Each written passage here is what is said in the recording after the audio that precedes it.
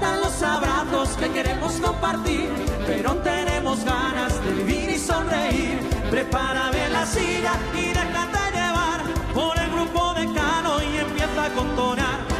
Muévelo sentado, con mascarilla y separado, con los brazos bien arriba y la cabeza va para un lado y para el otro lado, y para el otro lado, y para el otro lado, pero muévelo sentado, muévelo sentado, con mascarilla y separado, gira el cuello y los pies bien cruzados, y para el otro lado, y para el otro lado, y para el otro lado, pero muévelo sentado.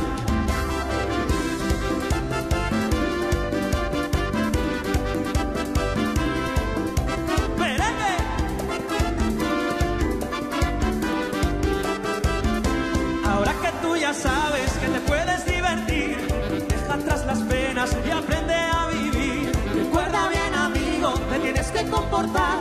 Y cuando todo pase, volveremos a bailar. Prepara bien la silla y déjate llevar por el grupo de Cano y empieza a contonear. Muévelo sentado, con mascarilla y separado, con los brazos bien arriba y la cabeza va para un lado y para el otro lado, y para el otro lado, y para el otro lado, pero muévelo sentado. Iván Cano y familia. ¿Qué tal? ¿Bien? Bien, bien, muy bien. Bueno, Salas, ya se sabe. Mm, casi todo lo musical pasa por ti. Bueno, ta- ta- ca- tanto como casi todo, parte de ello. Parte de ello, sí, y bueno. Y pasa también, eh, pues, pues pasa por, por Jaime, pasa por, por Dani, pasa por la banda Gaitas, pasa por la escuela de música, eh, pasa por tantos sitios. Oye, pasa y pasa y tú sigues trabajando y ahora sales con el, el estreno en exclusiva que vimos aquí en De Romandela, en exclusiva mundial. El baile como y él, bailalo sentado. Muévelo, muévelo sentado. Muévelo sentado. Muévelo sentado, eso ya, muévelo, Muévelo sentado. sentado. Muy sencillo. Y está, está pensado para la situación que estamos viviendo ahora, está pensado para todo el mundo que tenga problemas de, de cadera, problemas de artrosis, de, de para todas las edades. Está O que pensado esté, para o el que esté Juma. Exacto. Claro, está pensado para todo el mundo. Juma. Eh, para un lado, para el otro, tal. Sencillo y, y- y al grano. ¿Cómo se te ocurrió? Bueno, lógicamente, yo lo que es el, año pasado, eh, cuando salimos de la pandemia, no, dejé de trabajar, trabajaba según los protocolos que, había y que sigue habiendo hoy en día. Entonces yo veía a la gente sentada y, y coño, hay que hacer algo para la gente, para que pueda bailar sentado. ¿eh? Claro, tiene que ser con toda la parte de arriba, pero bueno, luego ya metimos las piernas cruzándolas y tal. A mí cuesta me cruzarlas algo sentado, pero, pero bueno, y es lo que hay. y para otro lado, y para otro lado, pero muévelo sentado.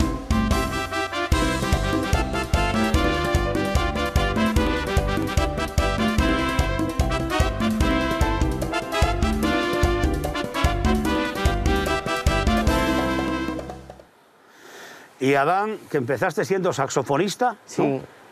con Tino Cuesta, con Tino Cuesta. y fue Tino Cuesta quien te sugirió que aprendieses a cantar. Sí, si no fuera por él, en gran parte no hubiera conocido a Iván. O sea que acudes a, a las clases de canto de Iván Sí, sin abandonar el resto de cosas que haces, Por como por supuesto. ejemplo, ¿qué más, ¿qué más haces? pues tocó el saxo en la banda de música de Pravia, que el director es Tino. Eh, también cuando puedo toco en alguna charanga por el verano y, y eso compaginándolo con los estudios. Y yo al principio he de decir que le tenía mucho miedo, ¿eh? le tenía mucho miedo porque no es lo mismo eh, acatar conocimientos que el intentar impartirlos a los demás. Es una responsabilidad y sobre todo cuando hablamos de la voz, que la voz es un instrumento tan delicado que tienes que tener muchísimo cuidado. Luego la gente que me suele venir es gente muy joven también, hay de todo, ¿no? Pero gente joven y la gente joven hay que tener cuidado y delicadeza a la hora de trabajar con sus voces y exige mucha responsabilidad, pero a la vez es muy gratificante porque ves la evolución y ves como la ilusión también. Yo, yo- la- para mí la ilusión en el mundo de la música es todo. Y la ilusión con la que vienen y con la que pues cantan las canciones y, y- y aprenden es maravilloso y, y te llena mucho por dentro, te llena, te llena. Y más ahora también que dio el salto televisivo. Fuiste a OP siglo XXI. Sí, el año pasado fue una experiencia nueva para mí y de la que estoy muy agradecido porque me di a conocer y fue una experiencia nueva mm, en un escenario con las cámaras. Dile que pare esa noria, que va robando, pregonando lo que quiere, que por saberla tu historia.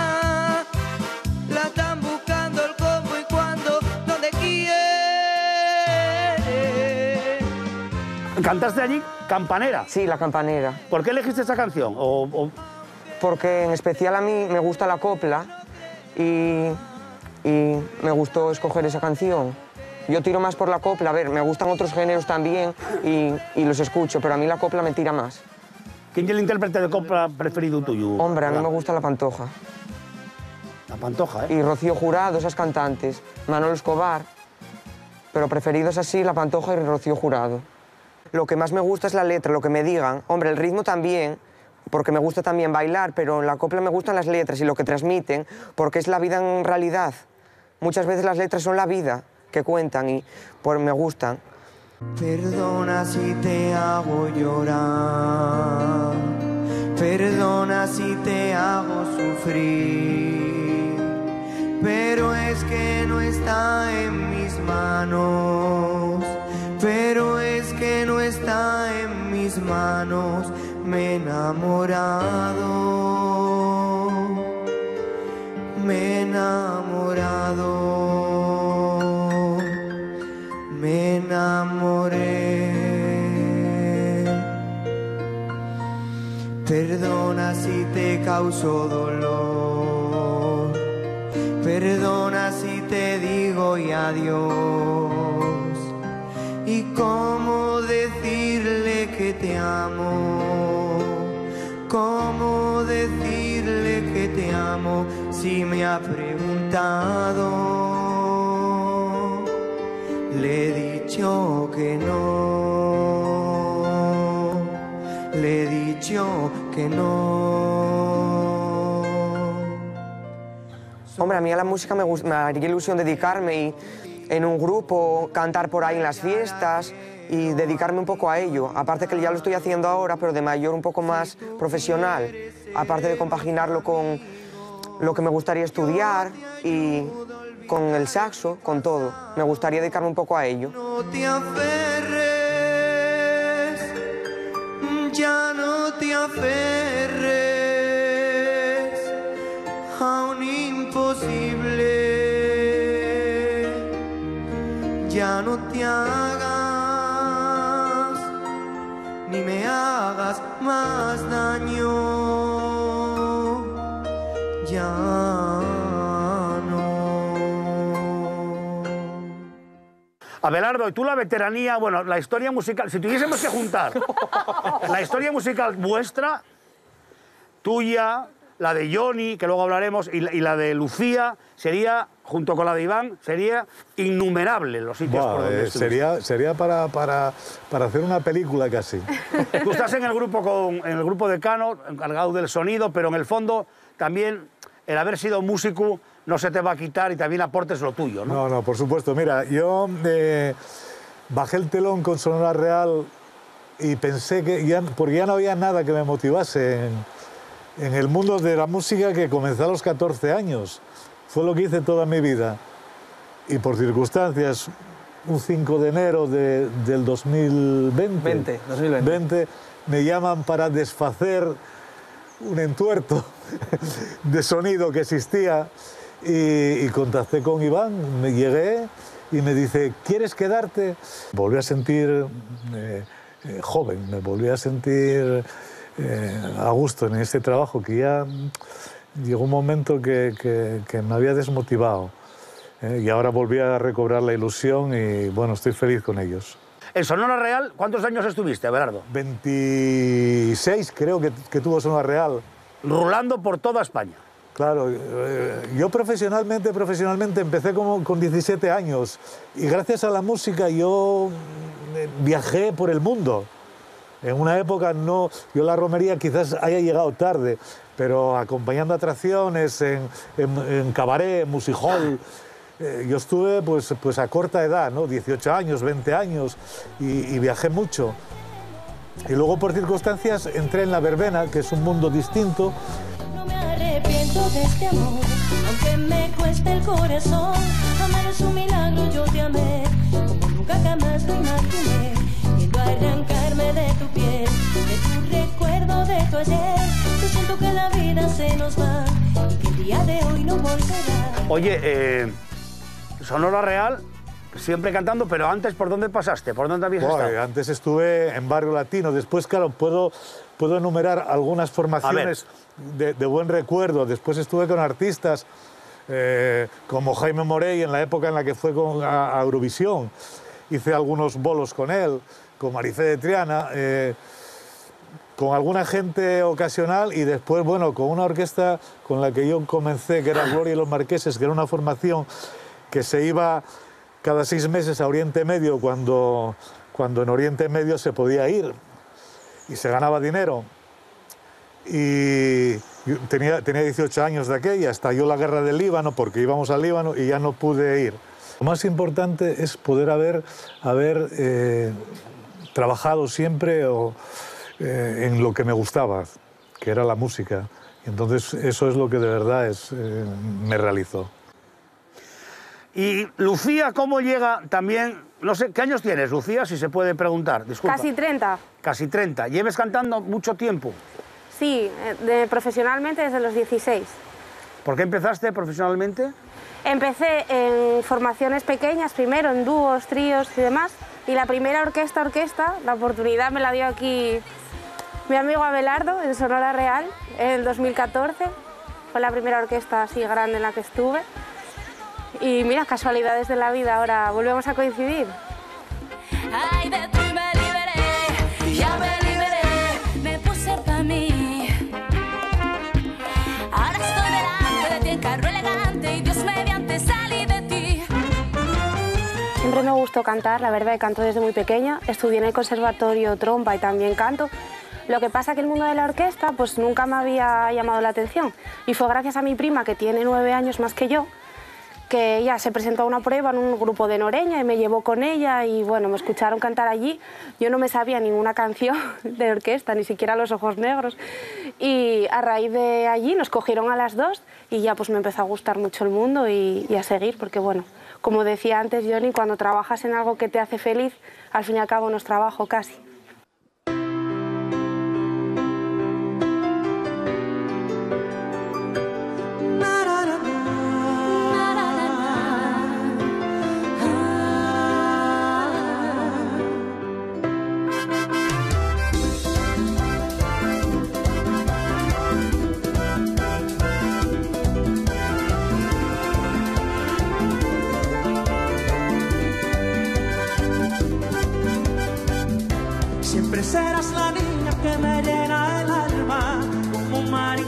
Como un mar en calma, siempre tan lejana como el horizonte.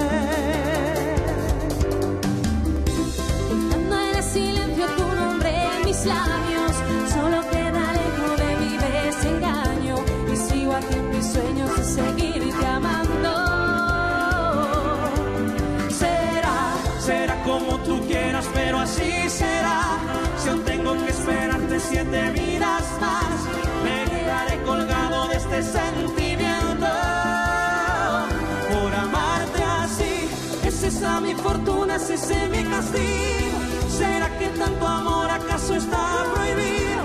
Y sigo aquí muriendo por estar contigo. Por amarte así, un paso de tu boca y sin poder besarla, tan cerca de tu piel y sin poder tocarla, ardiendo de deseos con cada mirada.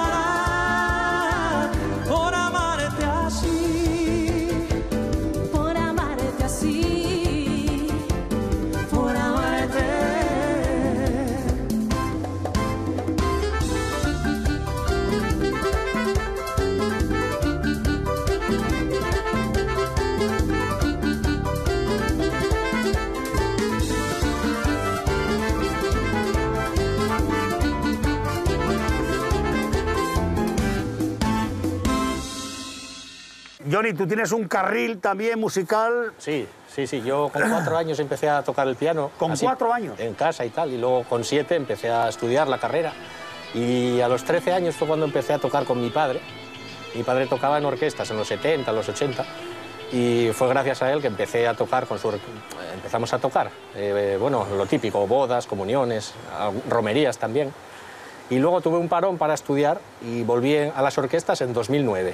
Y desde 2009 hasta hoy estuve en varias orquestas. Hasta este año que estoy en grupo decano y la verdad que encantado. Iván y yo ya nos conocíamos de- desde hace muchos años. Y siempre pensamos, "Jo, a ver cuándo nos juntamos, algún, algún año, cuando coincide. Y mira que Sí, lo sí, que son las cosas. Además hubo una, una cosa ahí que yo, yo cuando estuve en Guaycas justo salí yo y entró él y parecía como que, como, que, como que el destino no nos quería juntar nunca, ¿no? Es Pero yo, yo sabía que tarde o temprano con Johnny también tenía que, tenía que trabajar, porque además, aparte de, de- de- de un musicazo, como lo pudisteis comprobar, coincidimos mucho en la, en la personalidad que tenemos, ambos, en bro- bromas, en, en carácter, en, en- en- en muchas cosas. Entonces, aquí está. Johnny, además de la suerte de caer aquí y de ellos contigo, gracias por ese tributo que tienes a esa bestia, ¿eh? Sí, que a mí ya sabes que tanto me gusta, que ya es Sabina. ¿Cuándo empezaste con eso del tributo a Sabina, Johnny? Bueno, pues yo el tributo de- a Sabina lo vi en la sala Acapulco de Gijón en 2015 y me gustó mucho cómo lo hicieron y nunca pensé que iba a tocar con ellos. Y cinco meses después, no sé si fue en mayo de 2016 o por ahí, actué en la misma sala con ellos y la verdad que me gustó mucho. Ahora lo tenemos un poco parado desde hace un tiempo, pero bueno, siempre está ahí para poder hacer algo, porque Joaquín Sabina la verdad que también me gusta mucho, soy muy fiel seguidor desde, desde siempre, desde pequeño con las cintas de cassette, de la primera, la de física y química, fue la primera que tuve en el 94 por ahí hasta hoy. Adelante.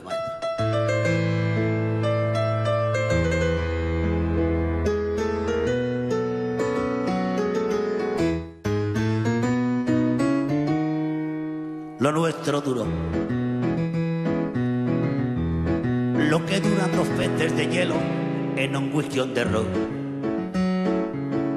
En vez de fingir o estrellarme la copa de celo, le dio por reír. Al fondo me vi como un perro de nadie ladrando a las puertas del cielo. Me dejó un neceser con agravio, la miel en los labios y escarcha del pelo. Tenían razón mis amantes en eso de que antes el malo era yo, como una excepción. Esta vez yo quería quererla querer y ella no, así que se fue. Me dejó el corazón en los huesos y yo de rodillas. Desde el taxi haciendo un exceso me tiró dos besos, uno por mejilla.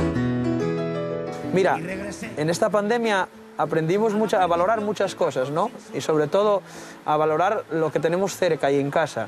Tanto hablo de, hablo de, de- de- de- quien se iba al Caribe y ahora se queda en Asturias porque no queda otro remedio y, y descubre Asturias. Pues yo eh, tenía las bailarinas en casa y andaba buscándolas fuera. Y gracias a, a esta situación, pues mira, Aquí las tengo conmigo trabajando, mejor que con su padre no van a estar en ningún sitio y, y ya ves el, el empaque que le dan a, a todo este grupo y, y la clase que le dan.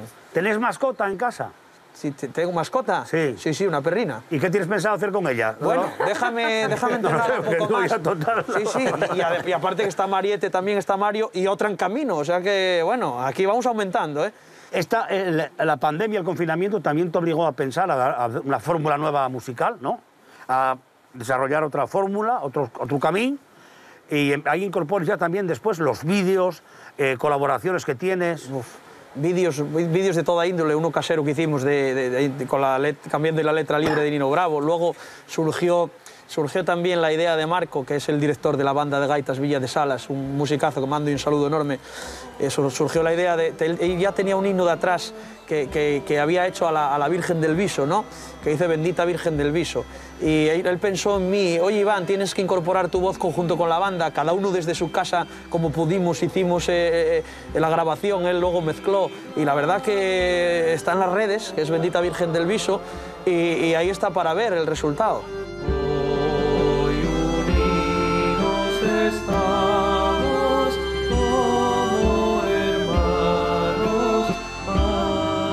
A mí la palabra sala significa mucho más que, el lugar donde nací, significa todo. Para mí salas y todo.